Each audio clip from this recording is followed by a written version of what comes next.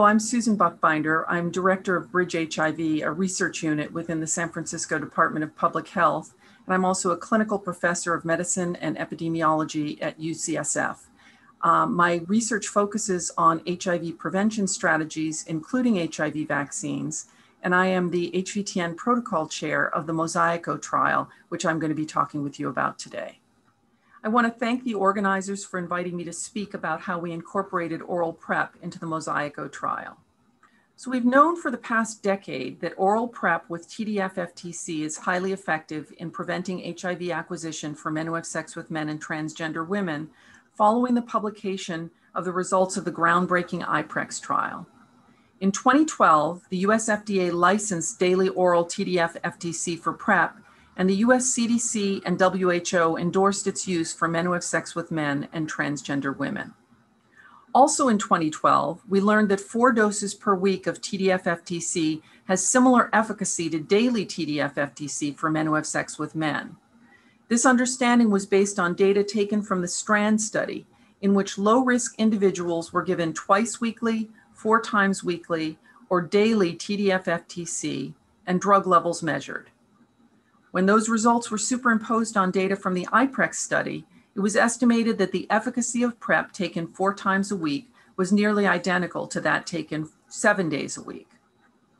We then learned that PrEP taken on demand or around the time of sex was also highly effective in preventing HIV infection. The IPERGAY study tested a 211 regimen, two pills taken 2 to 24 hours before sex, one pill 24 hours later, and another pill 24 hours after that. In the randomized trial, efficacy of the 211 regimen was 86%. In the open label extension, there was a 97% reduction in the risk of HIV infection when compared to the placebo arm in the randomized control trial. Then in 2019, daily oral TAF FTC was shown to be non inferior to daily oral TDF FTC for men who have sex with men and transgender women in the Discover trial.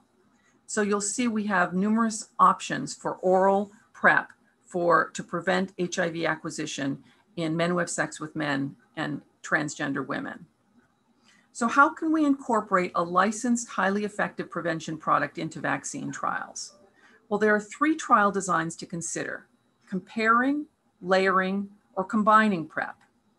In the comparing type of trial, one does a head-to-head comparison of the novel agent against the proven effective agent. This is what was done in both the Discover and the HPTN 083 studies. The novel agent was compared head-to-head to daily oral TDF-FTC. Participants were randomly assigned to receive one or the other, and the HIV infection rates in the two arms were compared. In the layering approach, everyone has access to oral PrEP, but then layered on top of that participants receive either the novel agent or the placebo. Now, not everyone takes PrEP, but again, it's just layered on top of whatever the background rate is that people either get the novel agent or a placebo. In the combining approach, everyone takes oral PrEP. And then in addition to that, people are randomized to receive the novel agent or the placebo. For the Mosaico study, we chose the layering approach, where everyone has access to PrEP, and then layered on top of that, half of the people are randomized to receive the vaccine and half to receive the placebo.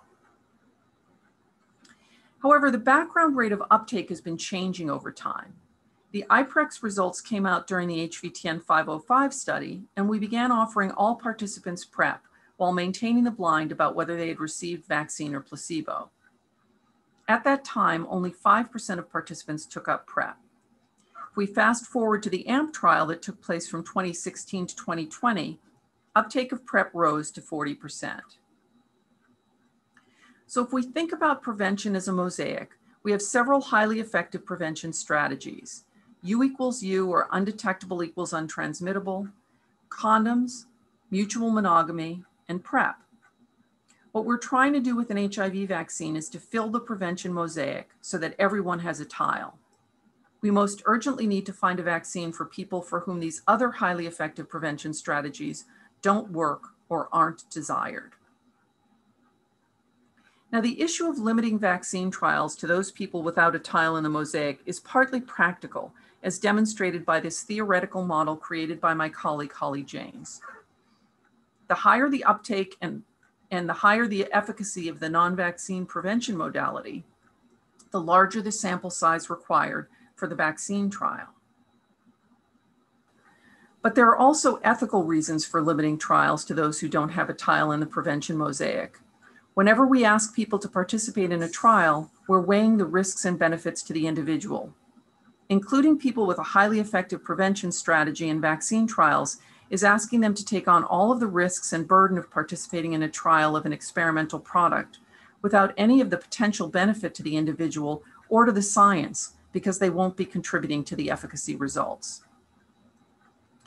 We held a symposium in November of 2018 with clinical trialists, statisticians, advocates, ethicists, the US FDA, and various funding agencies.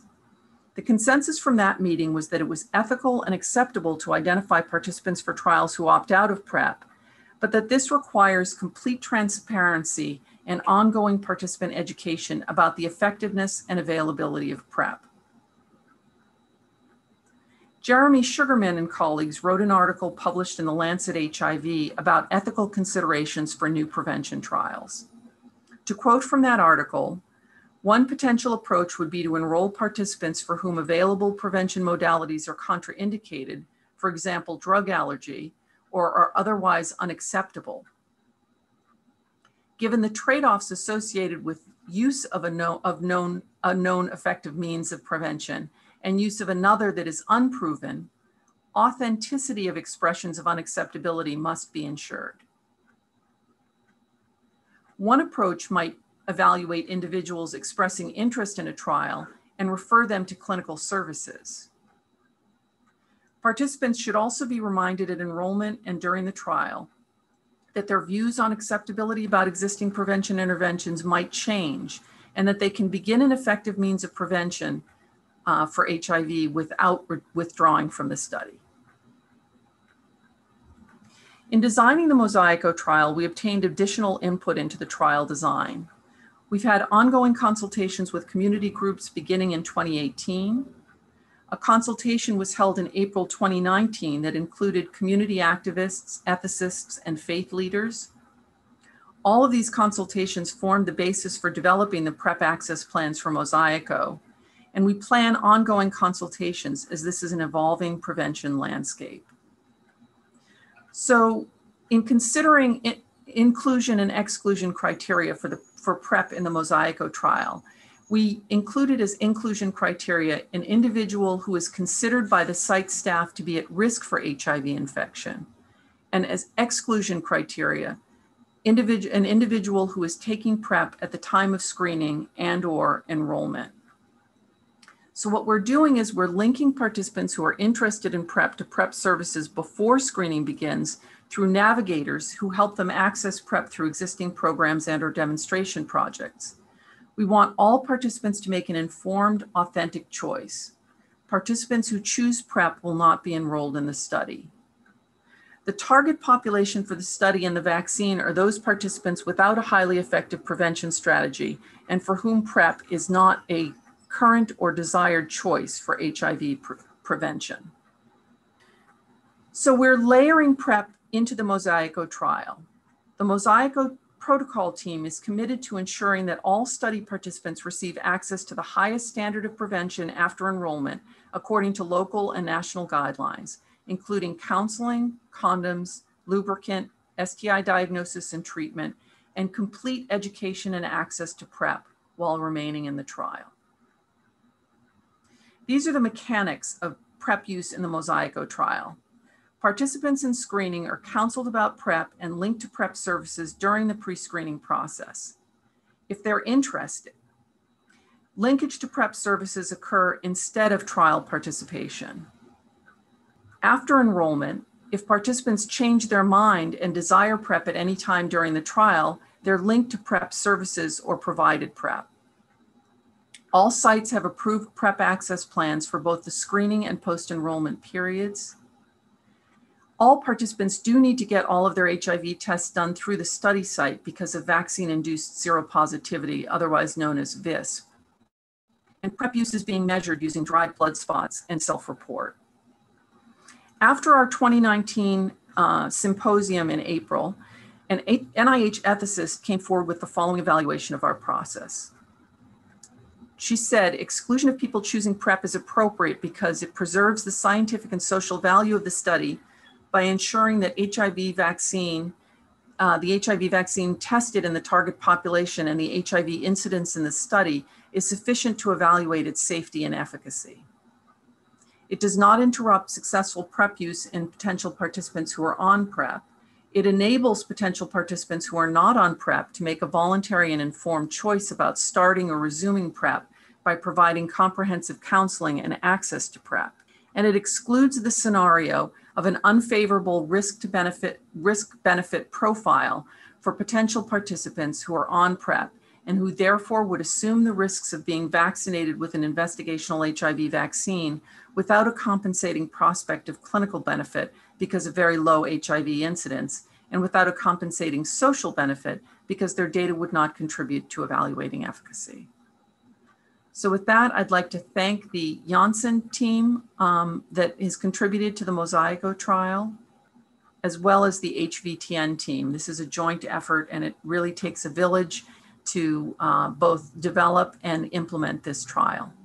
And of course, I want to thank our funders and other collaborators and the community who's contributed uh, invaluably to the development of the design and the implementation of this trial. Thank you very much for your attention.